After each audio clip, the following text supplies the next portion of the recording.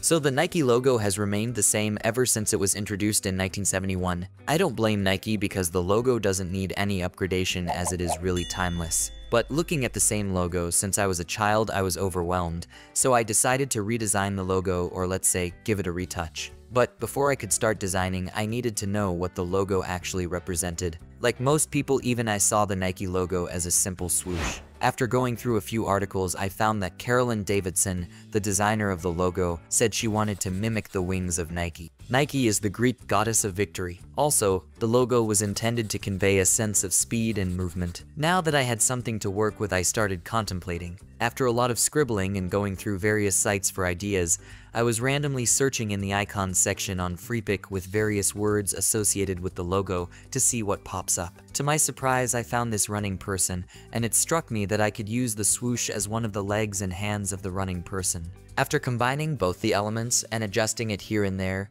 it actually looked very good and unique. It was also conveying everything that was intended, and there I had it, my logo.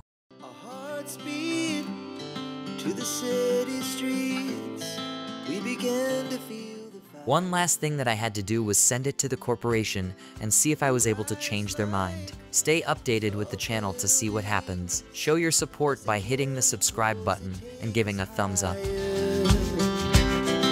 The night's young, and it's just begun as she puts her hand in mine. We wanna chase the night, wanna dance to the light.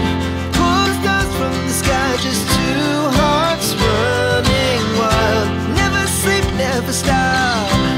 As we shout from the top, we're gonna, we're gonna be two hearts running wild.